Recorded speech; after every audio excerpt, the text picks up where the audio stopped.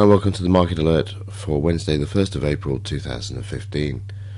In the 5 minute chart, we can see the market uh, trading up 50 points on the open there, finding resistance at the 17,900, then coming back down towards the 17,850 level before finding support once again, and then trading all the way back up to the 17,900 level. We then get a couple of uh, PTIs here, which we see the market. Uh, trading higher and just up to the 20 point scalp there before running into problems at the 17,938 level or 940 level with the high of this bar. Prices then reversed and into the quiet part of the session you can see them uh, trading all the way back again to the 17,850 level and back up to the 17,900 uh, level there just coming up and then coming back through. In the second part of the trading session, you can see that we've got uh, a PTP here. You can see the market, uh, I'll put it on the right one there. You see the market uh, moving through this and then trading all the way down to the 17,800 uh, level there. Uh, just drawing from the entry price down to the target price. And the reason I'm using this target price is because the market came through the 17,850 level. You see the market closing through there. We then got the PTI showing us that the market's closed through the psychological level and then down to the 17,803.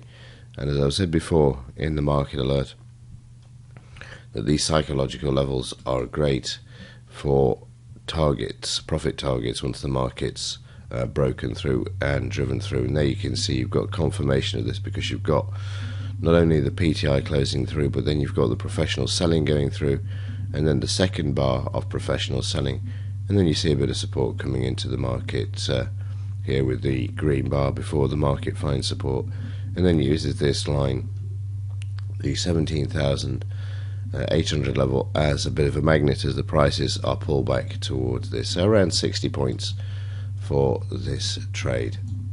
So in the daily chart we can see prices reversing inside of yesterday's or uh, Monday's trading range, Tuesday reversing there. And then on the overnight the markets come back and retested the 17,622 level which you can see there and now is attempting to move back towards uh, the upside there. So this is a crucial area that the market finds support at the 17,622 level before uh, attempting to either move higher or close below this. We'll see a retest of the low on this uh, test bar here. I'll just draw that in for you. 17,547. So let's see what uh, the market does uh, there. On the news front uh, today, after uh, 2:30 p.m. we've got uh, ISM manufacturing at 3 p.m. and uh, 3:30 crude oil inventories, and this is followed by Lockhart speaking uh, later on at 3:30 uh, p.m. as well. Medium impact news for this one. Just have a quick look at the implied volatility before concluding. And on the implied volatility, up from Mondays at 13.42 to 14. Can see uh, in the chart there how prices have uh, moved back towards the upside there. So still uh, seeing some sort of risk to the downside there as the implied volatility is marked up during uh, yesterday's trading session as the market moved lower. And of course, that's not accounting for what's happened on the overnight as well. So we would expect this to be a bit higher again. Right, that's it from me for today. I will see you in tomorrow's edition of the Market Alert.